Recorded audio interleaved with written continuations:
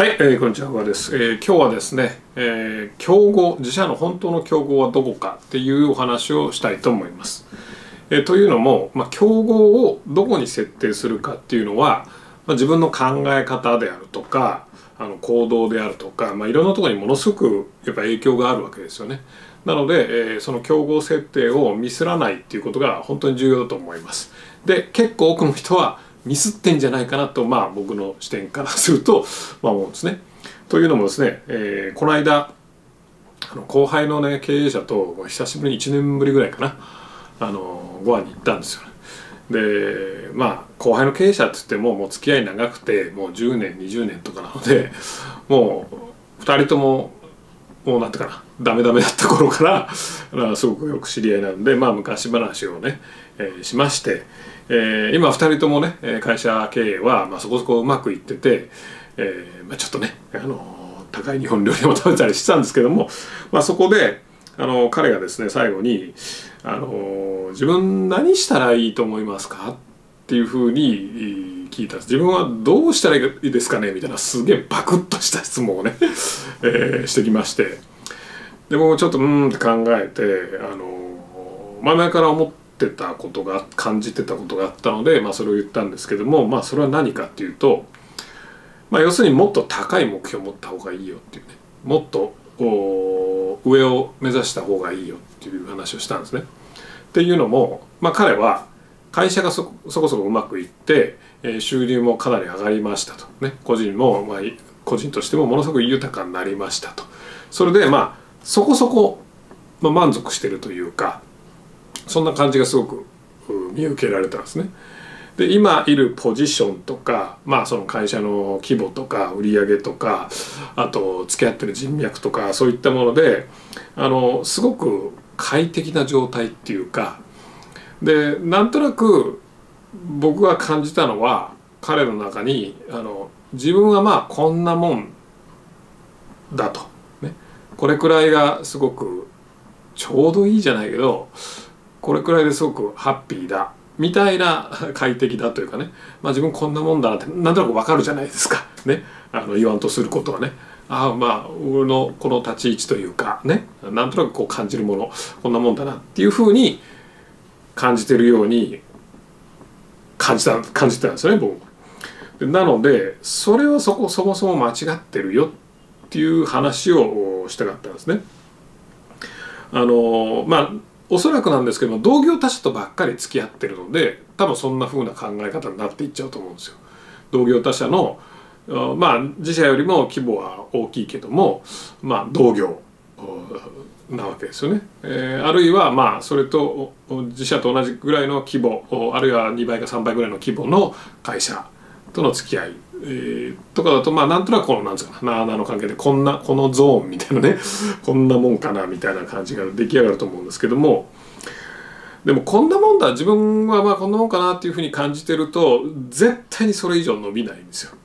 絶対に伸びないです。ねもうそこが快適なのでどんだけビジネスチャンスがあっても見逃しねあのどんだけ儲かる商品ね儲かるビジネスあったとしてもできないですね。で、まあ、後輩なのでまだまだ人生残りたくさんあるわけですよね。ビジネス人生で考えても30年はあるわけですよ。少なくとも。ね。30年あったらまあまあ何でもできますよね、うん、皆さん今経営してる会社30年経ってますか？もし001で起業したとしたら30年経ってます。経ってないですよね。立ってる人いたら、えー、お疲れ様ですっていう感じなんですけども、まあ、僕だってこの会社やっても15、16年ですよ。1 5 6年でまあこれぐらいかとねあと30年あったらまあどれぐらいのことができるかっていうのは想像つかないですよねなので基本何でもできるって言ったらあの大げさかもしれないですけどもあの結構いろんなことができるし結構大きなことは積み重ねていけばできると思うんですね。だけどもそれに自分がこんなもんだって蓋してちゃうとずっと現状維持を繰り返して残りの30年ねこうふわふわふわとこう過ごしちゃうことになると思うんですね。なので自分が不快になるようなあの高い目標っていうのがまあ必要なわけです。でも一方でまあその目標設定大事だっていうのは誰でも分かってると思うんですけどもなんでそれができないかっていうと目標設定ってすげえ難しいんですよね。うん、例えば会社の目標とか会社の将来のビジョンとかを考えるってめちゃくちゃ難しいじゃないですか。だから大抵の人は適当なこと考えるんですよね。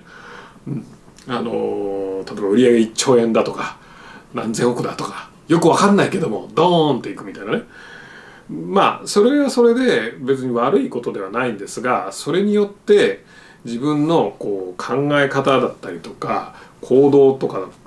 ね、あるいは会社の戦略とかが変わってないんだったら別にそれ何の意味もないですよねただのなんか精神論に過ぎないくなっちゃうわけで。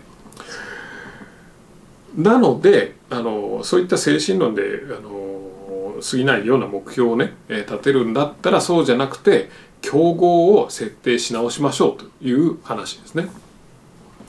あのビジネスっていうのは、まあ、基本競争なわけですよね。競合には絶対勝たなきゃいけないしまあ少なくとも負けてはいけないわけです。だからどこが競合にするかねどこが競合だと思うかっていうのは非常に大事なわけです。その競合にいかに勝つかっていうふうにビジネスを組んでいくわけじゃないですかビジネスモデルだったりとか強みとか弱みとかのね構築をやっていくわけですけどもそこをその近所の業界の界隈の人たちとか自分たちが常に目にしてる同じ商品を扱ってる同じサービス扱ってる自社よりもちょっといいところとかあるいはその業界で1位2位のところとか目指してもあんまり仕方ないですよね。そうなるとまあぶっちゃけあんまりそんな競合を目指してるとその程度にしかならないその程度の思考にしか、えー、ならないわけですね。まあすごい言葉悪いですけどもちんけな競合をね あの考えてるとちんけな思考にしかならないわけですよ。なので圧倒的な競合素晴らしいエクセレントカンパニーを競合だっていうふうに見なさないと自社もエクセレントカンパニーになるっていうのはなかなか難しいわけですね。うん、そうする圧倒的なエクセレントカンパニーねもうもちろん象とアリみたいな状況ですよ。象とアリみたいな状況だけどももしそこが競合だってなったら競合のが何をやってるかってことを徹底的に分析しますよね。競合調べますよね。日々の日常生活の中でもやっぱ競合のこと考えるし、まあ、ネットとか見てたとしても競合のニュースとか入ったら見ますよ見るようになりますよ気になるので。ね、でそうやってその考え方とか行動っていうのは徐々にこう変わっていくわけですよね。まあうちなんかもそうなんですけども、まあ、年商もあの10億程度の頃ね、えーまあ、どういったところを競あの競合に考えてたかっていうと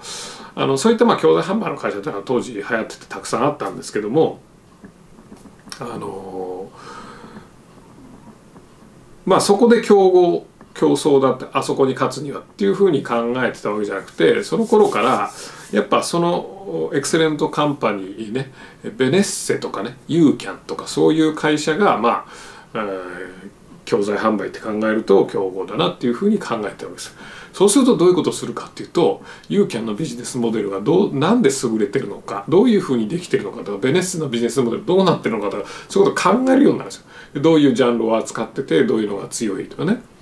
じゃあこの人たちねこの巨人がですねこの小さなねアリみたいな会社のところにあこの業界儲かるんだっつってボーンって入ってきたらもう終わりなわけですよね。で終わりだからまだ入ってこないうちにどうしたらこの人たちに勝てるかこの人たちこの会社が入ってきた時もまあ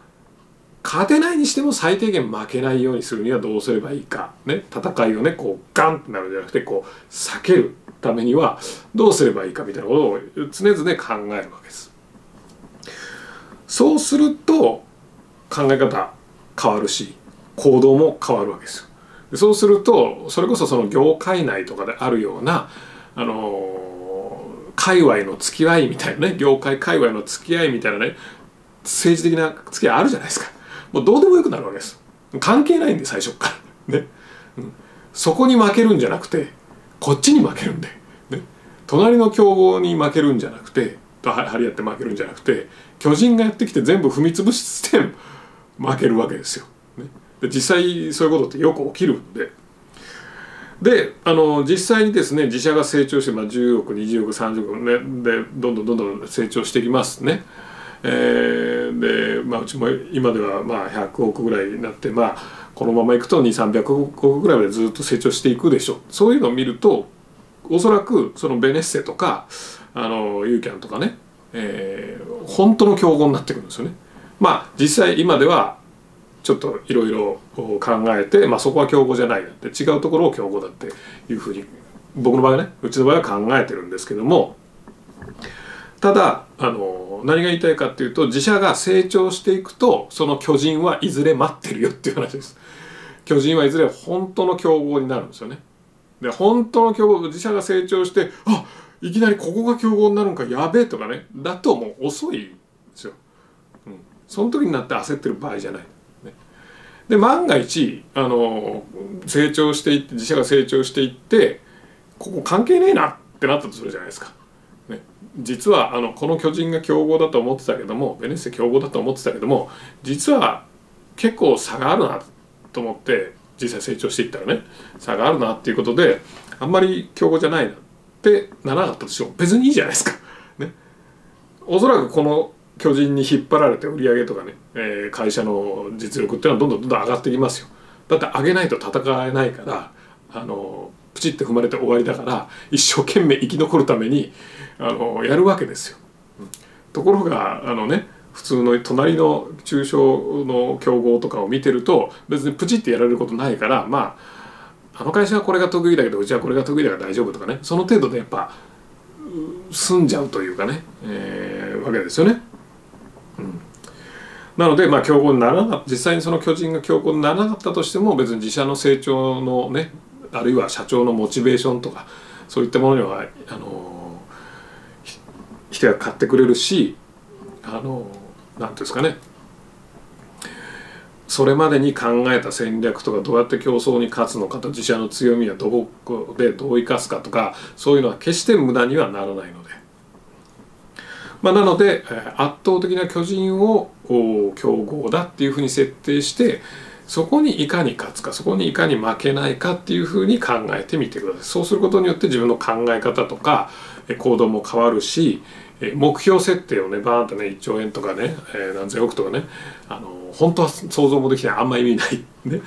えもの設定するよりも実際にものすごく現実味がありますし行動を変えます。で高い目標を立てるのはなかなか難しいっていうんであれば、まあ、これは非常におすすめですね。まあ、ちなみにね、えーまあ、似たようなことを J. ブラムが言ってまして J. ブラムは結構昔からこれを繰り返してるんですけども本当に何十年も前からね。あのー、自分がこの目標に対して価値があるか、まあ、Am I worthy、uh, of this goal ね for this goal worthy っていうのはあの値するかとか価値があるかね自分がこの目標とかあのね、えー、例えば1兆円の会社作るとかね何千億の会社作る何百億の会社作るっていう目標に自分自身は値するんだろうかっていうふうに考えるんじゃなくてこの何百億とか何千億っていうのは自分に値する目標なんだなんだろうかっていうふうに、まあ、考え直しなさいっていうことを本当昔からずっと繰り返してるんですけどもあのちょっと値するとか価値があるってあんまり worthy っていうのはねあの日本的なこう日本人ってあんまり考えないと思うんですよね。日本的な概念ではないかなと。僕もこの話を聞いてなかなか意味を解釈というか翻訳しづらいんですけども、まあ、要するに我々的に言うと日本人に分かりやすく言うとこの程度の目標で自分は満足なのかっていうんですね。この程度の目標で自分が限界なのかそのまあ元のね、えー、後輩の経営者そこそこ成功してますと、えー、なんとなく満足ですと。美味しいもの食べてます。お金も裕福です。この程度がね自分の限界なのかね。人生何十年もありますよね。その中でこの程度が限界でそれでいいのかっていうのをまあ問いかけてほしいっていうことですよね。まあ飯が食っていけてその業界で上位にいる。あ、その程度でいいんですか、うん、まあぶっちゃけある程度お金儲けて、あのー、経済的にも豊かになったらやっぱりもっと大きなところを目指さないとつまんないと思うんですよね。ずっと現状維持繰り返しててもあんまりつまんないし、えー社員は不幸になります。ね。なのでもっと上を目指して、まあ、ダメならダメでいいじゃないですか、うん。ダメならダメであの別にそれなりに裕福に暮らせるわけだし楽しい人生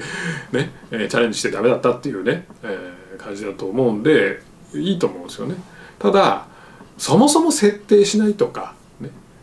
そもそもまあこれぐらいでいいんちゃうか自分ってこんなもんじゃないかなっていうふうに考えて本当はできたかもしれないのに本当はもっとできたかもしれないのに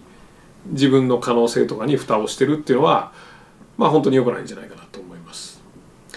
まあそんな話をまあ彼にはしたんですけども多分彼と同じように本当はもっとできるかもしれないのに、まあ、自分ってこんなもんかなこれぐらいがちょうどいいというかいうふうにやっぱ自分の可能性というかね、えー蓋してしまってる人って多いんじゃないかなと思うんですよね。でその蓋をパンって破る一番現実的で分かりやすいのは競合設定だと思います。競合を